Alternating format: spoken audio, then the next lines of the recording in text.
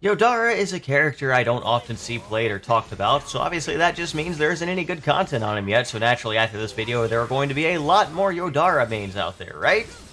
Jokes aside, Yodarha is a really fast-paced character that excels at consistently attacking, sticking to enemies, and abusing forms of invincibility and immunity to get the most out of his kit. This fast-paced playstyle can be really fun to take advantage of as you zip all over the field and spam his attacks and combo finishers near infinitely to get a lot of consistent damage. He also has some pretty nice team support to help the team stay alive and get hit less often as well, which can be very nice if you're playing with randoms who get hit a lot, or with your friends if they're bad. In this video, I want to discuss Yodarha, discuss general playstyle and setup, talk about some strengths and weaknesses, and showcase some practical use in harder raid fights. As per usual, if you enjoy guide content on this game, RPGs in general, and especially Xenoblade, and are interested in seeing more since I do plan to cover everyone and we're in the final stretch, please be sure to subscribe to the channel because it does help me out so much. Let's get into it. Let's start with the basics. As mentioned, Yodarha is a character that excels at consistently dealing damage and sticking to enemies, often being able to abuse invincibility to have minimal downtime in fights. He has a couple unique mechanics, the first of which are tied to his first support skill, his Shroud Marks. Essentially, this is his unique resource, and it's pretty easy to understand. So, Shroud Marks will stack up to a maximum of 3, with the color scheme gradually becoming more green as you stack them, with each Shroud Mark granting bonus effects to his skills. Gaining and managing your stacks will be key to getting the most out of Yodarha. The way you generate Shroud Marks includes using and landing the last hit of your combo finisher, using a link attack, and from timing Yodarha's unique counter perfectly. When using a skill, Shroud Marks will be consumed to enhance the skill. With one of Yodarha's unique sigils, you can get a very nice chance to not consume Shroud Marks on skill use, which can give you a lot of benefit as well, but we'll talk a bit more about that when we get there. So Yodarha is a character all about his combo finishers. Not only does it generate Shroud Marks, but it also does a lot of damage, and his second support skill backs this up as it's one of the things that will allow you to consistently deal a lot of damage with Yodarha. Essentially, Yodarha has a pretty long combination attack normally, usually being 5 attacks or inputs in order to get to your combo finisher, but essentially with this skill, you can immediately attack out of your combo finisher to continue your combo, and you will need one less attack at that point to use your combo finisher again. This will continue stacking until you only need one attack after the combo finisher to immediately go back into the combo finisher, which means you can get a lot of damage if you're able to ramp this up and consistently use combo finishers, and more combo finishers also means more shroud marks with each use, which means better skills as well. Damaging skills can also chain into combo finishers to keep this pattern going, and link attacks will also immediately chain into combo finishers, meaning smart usage of these can shorten your standard combo very quickly to allow you to use as many combo finishers as possible. The combo finisher also has invincibility for a few frames after using it, meaning that timing this can allow you to negate damage you might have taken otherwise. If you're able to stack up your combo finisher without being interrupted, you can get some very high consistent damage and a lot of windows of invulnerability, which can be very nice in many fights. Now, you can be interrupted and have to reset entirely. Dodging will not reset, so using this with perfect timing on upcoming enemy attacks can be good, but enemies damaging you or knocking you back can be annoying and will knock you out of this combination. And obviously, during downtime phases, you're going to lose it no matter what, which can be a little annoying. Fortunately, Yodarha does have a couple other tools he can use. By holding down the Y button, Yodarha will be ready to parry attacks, and if you are able to parry with perfect timing, you will grant yourself a supplementary damage buff for free additional damage, and immediately will be able to go back into the fastest possible combo finisher chain, meaning that parries can be one of the most effective ways for increasing your damage in these fights, since this is the only way to get the supplementary damage buff, and the fastest way to get to your combo finisher. Releasing the parry or pressing the Y button quickly will also lunge at the foe as a, acting as a decent gap closer to get back into the enemy's face quickly. You can also dodge right after the parry to occasionally get iframes and make the parry safer to attempt to perform, since missing will have you eat damage, and if you're able to get the parry and the iframes from the dodge, you can be in a very good position to go ham on the enemy immediately, and this is one of the best strategies to use as Yodarha. The ideal Yodarha gameplay loop is going to be consistently chaining combo finishers together, weaving in skills when you have Shroud Marks, and taking advantage of your invulnerability mechanics and skills to continue attacking and looping combo finishers. This makes him one of the more fast-paced characters in the game who can output pretty high consistent damage if you're able to take advantage of his mechanics. We'll talk a bit more about other gameplay-related info in the specific sections that they are relevant. Let's get into setup now. For setup, as you might expect at this point, the weapon I am using is the Terminus weapon since it is the best weapon in the game for the Catastrophe bonus effect, and the ability to have Sigil Booster as well. That 50% extra attack, the 100% extra damage cap, boosting all your Sigil traits by one level when you have it maxed out. Just an absolutely fantastic effect. Also gives you the last few levels of damage cap that you need as well. So really, really awesome weapon. Absolutely run if you have it. Otherwise, the crit rate weapon, the max ascended weapon are probably going to be your best bets overall. So as far as Sigil setup, now his unique sigils are interesting. His first one is not necessarily required, but the fact that I have damage cap as a subtrait on it means that I am running it no matter what here, just because it's basically a free kind of attack boost trait at this point to make sure that I'm hitting damage caps on everything here. So Swordsmaster's Prowess here, this is a decent effect. When you land a combo finisher, you get a basically free 30% attack boost, and as long as you're continuing the chain, you keep to keep this attack boost, and it's pretty easy to keep that chain going most of the time. So this can act as a pretty effective attack boost. Now, other forms of damage boost might be more consistent a lot of the time, and if you do not have a way to really conveniently fit this into the, the, your build, this could be skippable if you have other damage boosts like Stamina and Tyranny. But as a form of just kind of a free damage boost, if you have it attached to another red trait, it is something to definitely consider if you don't think you need another additional trait. It's a nice attack boost to have. It is a pretty good effect. Swordsmaster's Art, on the other hand, this is a significantly more useful sigil effect that is going to be useful basically 100% of the time with the Yodarha for directly not only increasing your damage, but increasing basically all of your effects when you have it. So Swordsmaster's Art, 75% chance to basically not consume your Triple Shroud marks, which is pretty incredible. That is three-fourths of the time you're not going to be consuming your marks at all, which means that you can kind of chain your skills together and get the maximum benefit out of them 75% of the time without having to perform combo finishers or build up your Shroud marks again. It won't trigger all the time, but just having that 75% chance will drastically increase your DPS and the effectiveness of your skills and support abilities for your allies. So absolutely make sure you are running this no matter what. It is a fantastic sigil, fantastic effect to have. If you have the Awakening, you could probably put both these on the same same uh, sigil as well if you really need to. Improved dodge is the sub trait that I have on the Swordsmaster's Art because I didn't really have a good orange trait to put on this, but that's not really a huge deal because Yodarha's caps aren't super significantly high to where you need like a ton of damage or anything like that. So I'm still able to hit that with the current setup that I have. I'm running my other three damage cap 5 pluses here to go along with the one that I have on Swordsmaster's Prowess to uh, make sure that I'm hitting the maximum there. The sub traits I have are a quick cooldown. Yodarha benefits very greatly from cooldown effects because uh, using skills more often is very beneficial to him, especially if you can keep your triple shroud marks up. So that's why Cascade is another effect that I have on here that apparently works really well on Yodarha compared to some other characters in the game. So that's really nice to consider. Able to uh, get those cooldowns significantly faster running both of these. Uh, free 1.6% skill, skill cooldown depending on the weight of the hit at least, uh, if you're running at least one level of Cascade. Uh, quick cooldown's a really nice effect to have as well. Gets 20% if you can max out all three levels just for free skill cooldown reduction, which is awesome. And then the other trait is Potion Hoarder, probably the best defensive sub sigil sub trait in the game currently, just for consistency. Being able to heal yourself in pretty much every situation is just really nice to have. It's a very nice sigil effect to have and consider running. I'm running two supplementary damage fives. With just two of these, you're able to uh, trigger a 20% damage boost, boost 74% uh, of the time, which is really nice. It also stacks with the supplementary damage you can grant yourself from using your counter. So uh, you can get some free damage out of that as well. It's not going to override it or anything like that. So that is another benefit of the supplementary damage sigils, just as a way to boost your damage further. And then I'm running the general attack boosters. Pretty much every character ends up running right now. Stamina and Tyranny with critical hit rate 5 plus attached to them as the other trait to make sure I'm hitting the maximum critical hit rate I can. Now, I don't have the overmastery 100% without very conveniently right now, but uh, just running these two attack boosters is nice. And along with the uh, Swords Master's Art, basically ensuring that I'm hitting damage cap on everything that is relevant uh, pretty much all the time. So that's nice at the very least. War Elemental is uh, really nice to bypass the damage cap, get even more additional damage, as you might expect. You should pretty much be running this on everyone. Uh, just a free 20% additional damage boost, so that's really nice to have.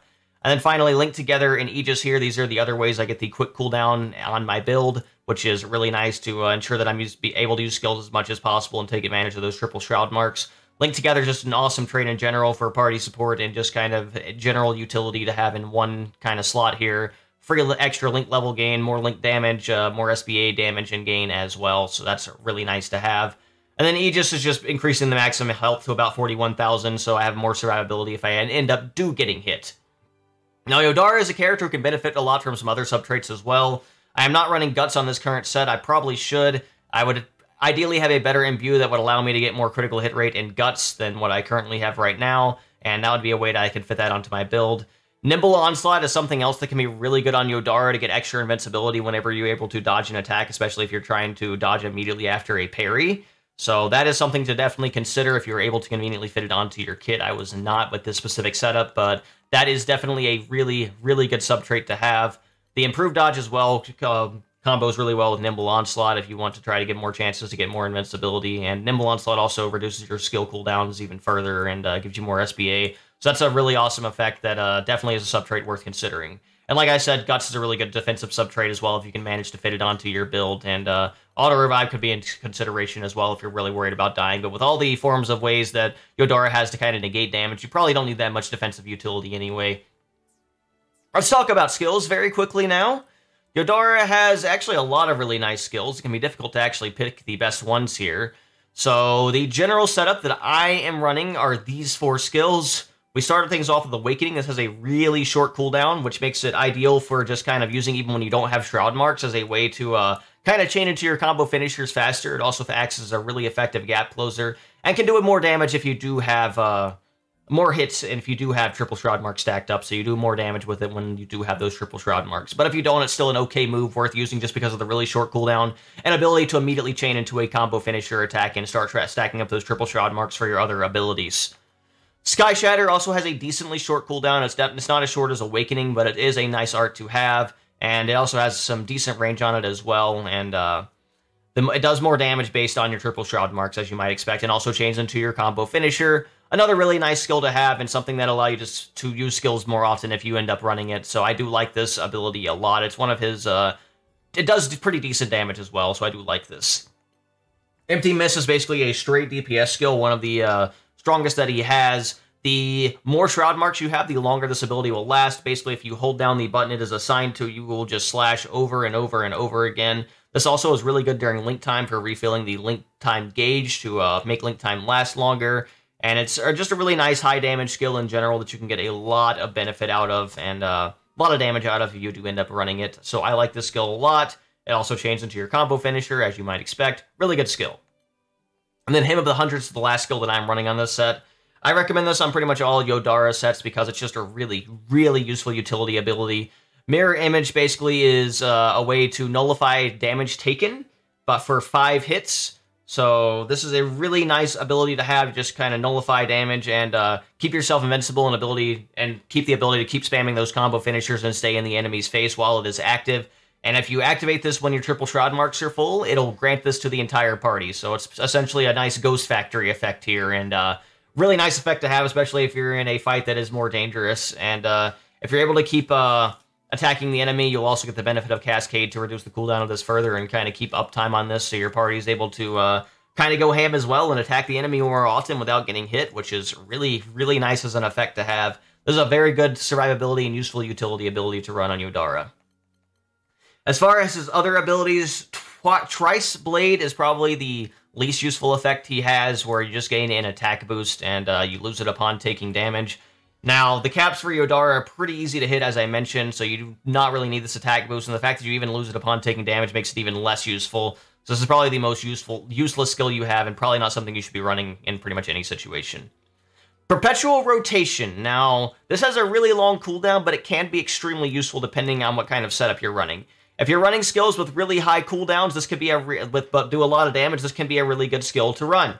It will instantly reset all of your other skills if you have full triple shroud marks, no matter where they are, no matter how long the cooldown was. This can be really nice for refreshing mirror image more often. Could be really nice for getting your stronger damage skills like empty mist and flashing void out more often. This is a pretty solid skill when you do that. It can also instantly give you triple shroud marks, which sometimes has some really niche utility options there, but uh, Ideally, you'll be using it when you already have full triple shroud marks to get the full benefit out of it, because otherwise you're not really getting the most benefit out of it most of the time otherwise. But it can instantly restore your triple shroud marks, so that is something as well.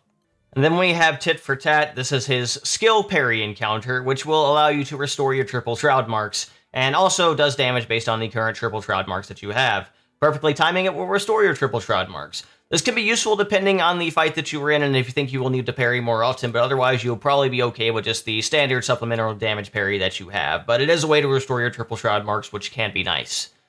And then we have Flashing Void. This is his highest damage skill that he has, and you are able to kind of roll and dodge between doing all of the attacks, and as you keep attacking with the button, you can get a maximum of 13 hits out of this, and it does do a lot of damage. The problem is it takes a while to come out and can be very slow. So uh, that is the one uh, a kind of negative of this ability.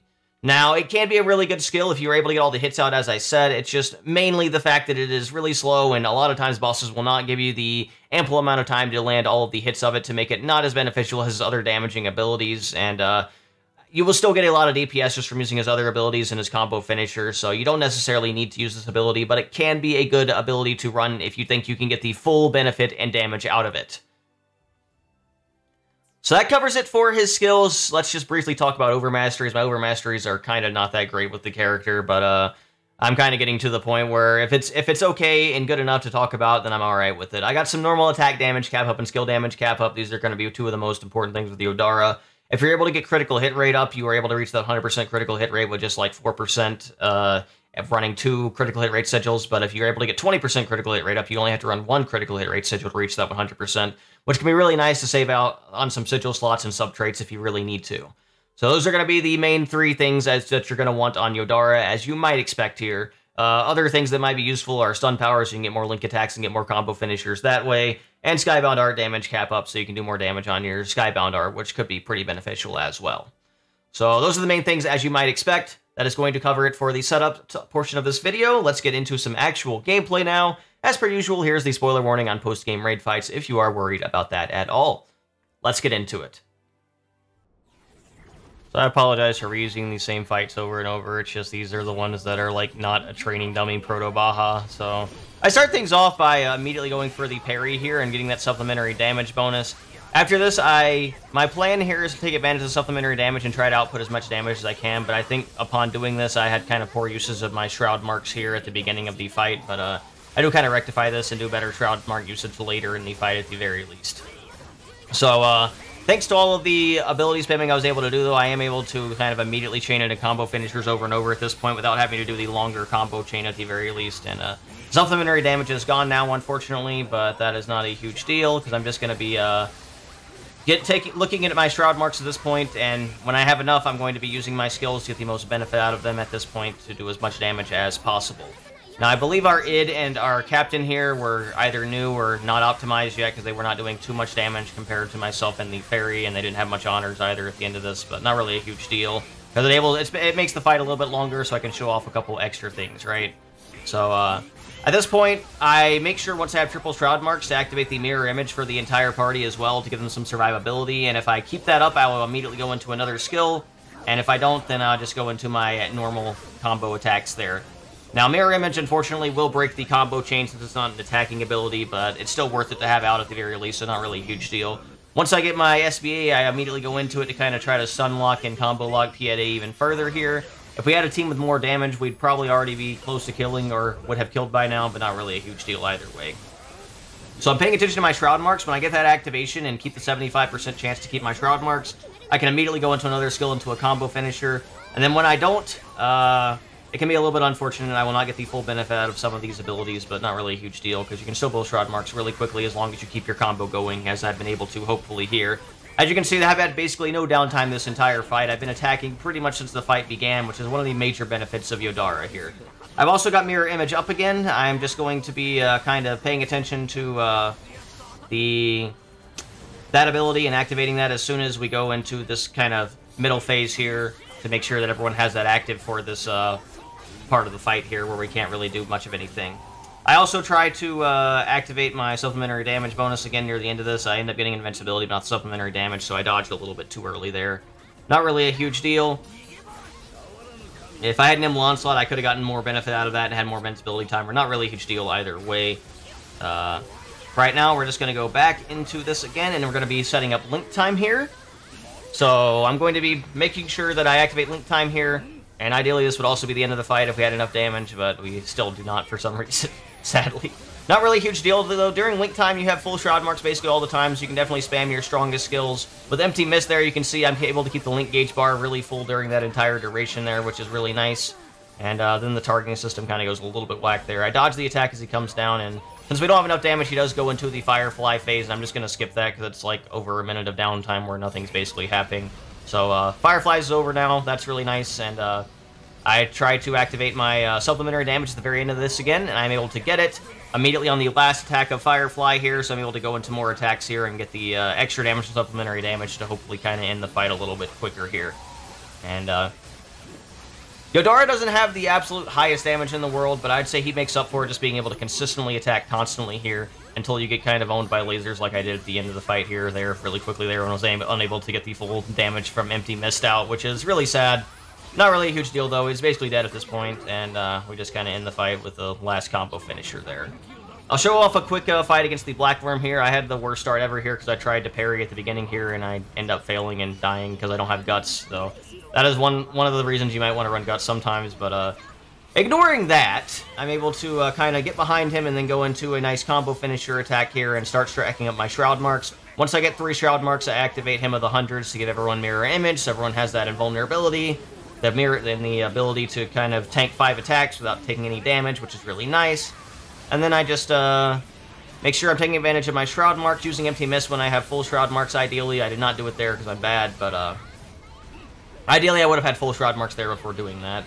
I, I think when you get used to having the 75% chance for it to trigger, you can kind of get complacent sometimes with your Shroud Marks, but uh, do make sure to see if those get consumed. It is going to be important to make sure that you can get the most benefit out of some of your skills. Luckily, stuff like Awakening you don't have to worry about since it has such a short cooldown anyway. You can kind of just use it whenever to uh, both get the damage and also kind of stack up your combo finisher. So that is kind of what I've been using it for mostly here. And this fight's going a lot smoother because we have a team with much more damage, and uh, Fairy once again gets insane SBA generation and gets SBA before the rest of us even hit 80%, which is pretty insane, but uh, not a huge deal. I just activate Empty Mist there, and uh, the knockback there is a little unfortunate. It kind of knocks me out of the combo chain, so uh, doesn't matter too much, though, because he goes into this phase, and uh, I just activate Mirror Image for everyone again to uh, make this phase a little bit smoother. I'm just chaining invincibility here. I don't have a Nimble Onslaught, so it doesn't really do a ton for me. And even if I got the supplementary damage bonus like I do there, it doesn't matter because we can't really attack him at the current moment in time, and the supplementary damage is going to wear off like right before I'm able to actually take advantage of that. So ideally you do it on that last attack here before rushing in. And yeah, the supplementary damage does wear off there, unfortunately, so I don't get the full benefit of that parry there. So ideally how I like playing him, and as you've probably seen, is kind of going for parries early on in fights to get that supplementary damage bonus, and then uh, just going ham from there really more than anything, especially if you can get the invincibility on top of that, because you're able to continuously attack. Make sure you activate Mirror Image when you have full Shroud Marks to grant that bonus to everyone, so they're able to keep attacking as well without too much issue. And other than that, it's not really too difficult. I go for the full Shroud Marks here before using Empty Mist at the, as the end of this fight here, and then one last combo finisher to end the fight. All in all, Yodarha isn't too difficult or complex of a character to play. He's a lot of fun. He's pretty fast-paced if you're able to take advantage of all of his kit, and I do enjoy playing him a lot. I do hope you learned something from watching this video and kind of understand kind of the general playstyle and how to approach and play Yodarha more. And if you do, please be sure to subscribe, like, comment, and give me any other support that you can. I would appreciate it greatly. I think that's going to cover it for this video, though. I do appreciate all the support as per usual. Please look forward to our remaining four guides. I got four characters left, and uh, all of the future content I plan to do on this game. For all the new content that comes out, I'll probably do a tier list. I'll probably cover the new raids that come out and the new characters that come out as well. So please look forward to that. With all that being said, thank you all so much for watching. Have a wonderful and blessed day, and hopefully I'll see you back here soon.